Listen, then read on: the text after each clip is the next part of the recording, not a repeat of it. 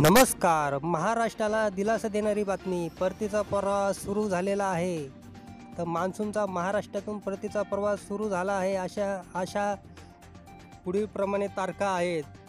महाराष्ट्रातील मान्सून ऑक्टोबरच्या दुसऱ्या आठवड्यापासून परतण्याची सुरुवात होईल असे प्रादेशिक हवामान केंद्र मुंबईमार्फत स्पष्ट करण्यात आले आहे. यंदाचा मान्सून हा सर्वात विशेष ठरला आहे कारण सरासरीपेक्षा अधिक पावसाची नोंद यंदाच्या हंगामात झालेली पाहायला मिळत आहे. तसेच मान्सूनच्या यंदाचा मुक्काम हा सरासरी वेळेपेक्षा अधिकच होता. ऑक्टोंबर दुसऱ्या आठवड्यापासून म्हणजेच नऊ ऑक्टोंबर आणि पंधरा ऑक्टोंबर या कालावधीत मान्सून आपला परतीचा प्रवास सुरू करेल अशी माहिती प्रादेशिक हवामान केंद्र मुंबई यांनी जाहीर केली आहे.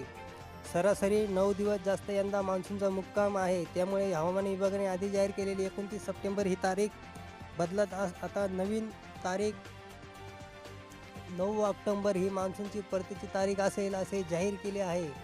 सरासरी यंदा मान्सूनचा मुक्काम जास्त झाल्यानेच ही तारीख बदलण्याची वेळ हवामान विभागावर आली आहे.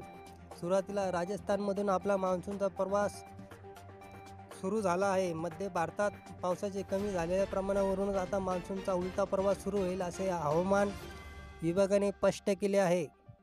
राजस्थानच्या पहिल्या आठवड्यात मान्सूनचे परतीचा प्रवास सुरू केल्यानंतर त्यापाठोपाठ महाराष्ट्रातून हा परतीचा प्रवास सुरू होईल अशी माहिती प्रादेशिक हवामान केंद्राचे महासंचालक मृत्युंजय महापात्रा यांनी दिली.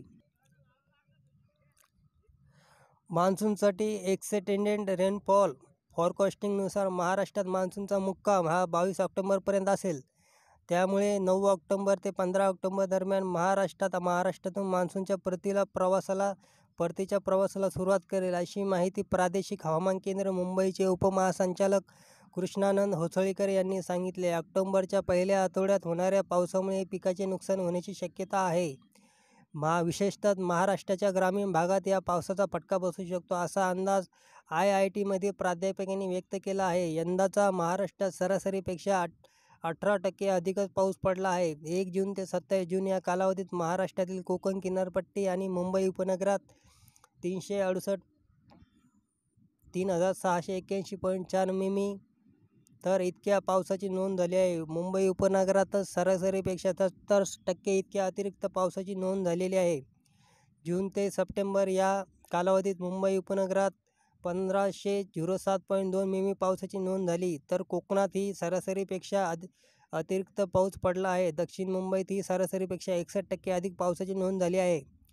सिंधुदुर्ग येथे चोपन्न टक्के रत्नागिरी पंचवीस टक्के ठाणे वीस टक्के रायगड सतरा टक्के आणि पालघरमध्ये सरासरीपेक्षा चौदा टक्के पावसाची नोंद झाली आहे. यंदाच्या मान्सूनमध्ये झालेली मध्य महाराष्ट्रात बत्तीस टक्के इतका सरासरी जास्त पावसाची नोंद झाली आहे. अहमदनगरमध्ये सरासरीपेक्षा ब्याऐंशी टक्के पाऊस पडला. तर मराठवाड्यात जिथे दोन हजार सतरा आणि अठरामध्ये दुष्काळाची परिस्थिती होते तिथे एकतीस टक्के अतिरिक्त पाऊस पडला. संपूर्ण महाराष्ट्रात फक्त अकोला आणि यवतमाळ या ठिकाणीच दोन जिल्ह्यामध्ये सरासरीपेक्षा कमी पाऊस पडला आहे. अकोल्यात सव्वीस टक्के तर टक्के कमी पावसाची नोंद झाली तर यवतमाळमध्ये तेवीस टक्के कमी पावसाची नोंद झाली. दोन्ही विदर्भातील जिल्हे आहेत. महाराष्ट्रातील मुख्य शहरातून मान्सून परतण्याची तारीख सहा ऑक्टोंबर ते अकरा ऑक्टोंबर आहे. तर मित्रांनो अशाच प्रकारे नवीन नवीन अपडेट बघण्यासाठी आपल्या यूट्यूब चॅनलला सबस्क्राईब करा बेल ऐकून नक्की दाबा आणि जास्तीत जास्त शेअर करा. जय हिंद जय महाराष्ट्र.